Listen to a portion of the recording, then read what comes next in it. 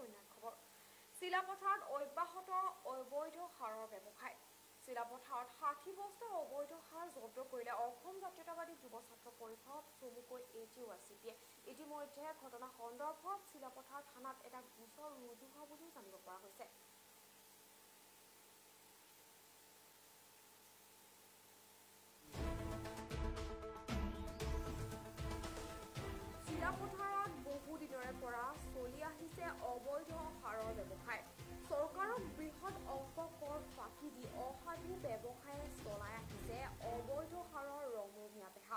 কালি সন্ধিয়া তেনে এখন অবৈধ সাৰ ভৰ্তি গাড়ী জব্দ কৰে অসম জাতীয়তাবাদী যুৱ ছাত্ৰ পৰিষদ চমুকৈ A J Y C P Silapathar আঞ্চলিক সমিতিয়ে তিনিচুকীয়াৰ পৰা A S twenty two C C two two six four নম্বৰৰ এখন মালবাহী বাহনৰ পৰা ষাঠি বস্তা অবৈধ সাৰ চিলাপথাৰ প্ৰদীপ পাল নামৰ ব্যৱসায়ীজনৰ কৈলাশ বীজ ভাণ্ডাৰ নামৰ দোকানখনলৈ আনি থকা অৱস্থাতেই চিলাপথাৰৰ কালিবাৰী ৰোডত জব্দ কৰে সাৰখিনি তথা চিলাপথাৰ আৰক্ষীক চমজাই দিয়া বুলি জানিব পৰা গৈছে। চিলাপথাৰ আঞ্চলিক যুৱ ছাত্ৰ পৰিষদে সেই সন্দৰ্ভত চিলাপথাৰ থানাত এটা গোচৰ ৰুজু কৰা বুলি জানিব পৰা গৈছে। আপুনি ক'ৰ পৰা আহিছে? তিনিচুকীয়াৰ পৰা। কি মাল লৈ আহিছে? আমি এছ এছ পি এইটো আপোনাক ইয়াত কিহৰ কাৰণে ধৰিছে?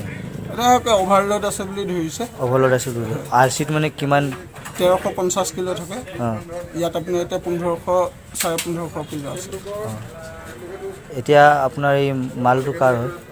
মালটো আপোনাৰ গ্ৰচাৰী। তাৰ হয় ন? চিলাপথাৰ অঞ্চলৰ কালিবাৰী ৰোডত থকা কৈলাশ বীজ ভাণ্ডৰ নামৰ এটা যি সাৰ যোগানকাৰী প্ৰতিষ্ঠানে বেয়াগুম এটা দুৰ্নীতি কৰা আমাৰ দৃষ্টিগোচৰ হৈছে। তাৰ ওপৰত আজি আমি এই চিলাপথাৰ থানাত এখন এজাহাৰ দিছোঁ। এইমাত্ৰ আমি এজাহাৰ দিছোঁ।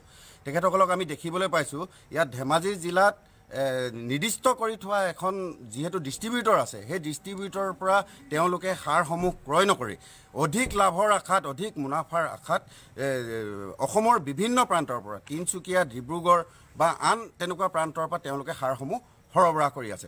আৰু ইয়াতে তেওঁলোকে কি কৰিছে? কৰ ফাঁকি দিছে? তেওঁলোকে কেঁচা বিলৰ যোগেদি সম্পূৰ্ণ কৰ ফাঁকি দি চৰকাৰৰ চকুত ধূলি মাৰি পেলাই যি সাৰ ক্ৰয় কৰিছে তাক আমি অসম জাতীয়তাবাদী যুৱ ছাত্ৰ পৰিষদে তীব্ৰ ভাষাৰে গৰিহণা দিছোঁ। আৰু বিভিন্ন সময়ত আমি এই বস্তুখিনি দেখি আহিছোঁ। কিন্তু আমি ইতিমধ্যে আমি তথ্য সহকাৰে কথাখিনি গম পাইছোঁ। আজি আমি মাননীয় সন্মানীয় A D O' sir Lahon sir আমাৰ চিলা চিলাপথাৰৰ তেখেত এ ডি অ' হয়। তেখেতৰ লগত আমি ইতিমধ্যে টেলিফোনিক বাৰ্তালাপ কৰিছোঁ। আৰু বাৰ্তালাপৰ যোগেদি আমাৰ কথাখিনি স্পষ্ট হৈছে যে তেওঁলোকে এই কাঞ্চিং চেকাৱত নামৰ যিজন ডিষ্ট্ৰিবিউটৰ আছে তেওঁক বাদ দি পেলাই তেখেতসকলে অসমৰ বিভিন্ন প্ৰান্তৰ পৰা কোনো ক্ষেত্ৰতে বেয়া এই সাৰসমূহ ক্ৰয় কৰিব নোৱাৰে। ই সম্পূৰ্ণৰূপে বেআইনী আৰু ইয়াৰ ওপৰত আমি এক মানে উচ্চ পৰ্যায়ৰ তদন্ত বিচাৰিছোঁ। ইতিমধ্যে আমি এজাহাৰ দাখিল কৰিছোঁ।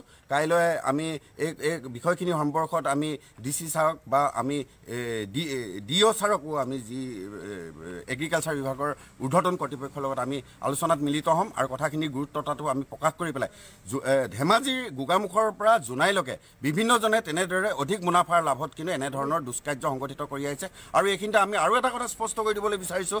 সাৰ বিক্ৰেতা কেন্দ্ৰসমূহত বহুতো যথেষ্ট সংখ্যক নিয়মানুৱৰ্তিতা মানি চলিব লাগে। ইয়াৰ কোনো এখন সাৰৰ দোকানে এই বিষয়সমূহৰ ওপৰত গুৰুত্ব প্ৰদান কৰা আমাৰ দৃষ্টিগোচৰ হোৱা নাই। যেনে ইয়াত বায়'কেমিষ্টৰ প্ৰয়োজন আছে। ইয়াত কোনো কেমিষ্টৰ কোনো তেওঁলোকে এতিয়ালৈকে ৰখা নাই। আৰু দ্বিতীয় কথা হৈছে যে ইয়াত একেলগে চিডছ কেমিকেল আৰু সাৰ একেলগে কোনো পধ্যে বিক্ৰী কৰিব নোৱাৰে আৰু বিভিন্ন ধৰণৰ তেওঁলোকৰ গাইডলাইন আছে। এই গাইডলাইনবিলাক সম্পূৰ্ণ ভায়লেট কৰি পেলাই তেওঁলোকে এই যি ৰমৰমীয়া বেহা কৰি বেহা চলাই আছে তাৰ ওপৰত আমি কৃষি বিভাগৰ আমি হস্তক্ষেপ বিচাৰিছোঁ আৰু আমি যদি তেখেতসকলে হস্তক্ষেপ নকৰে আমি অনুভৱ কৰিবলৈ বাধ্য হ'ম যে এই দুষ্কাৰ্যৰ লগত কৃষি বিষয়াসকলো জড়িত আছে বুলি আমি অনুভৱ কৰিবলৈ বাধ্য চিলাপথাৰ অঞ্চলৰ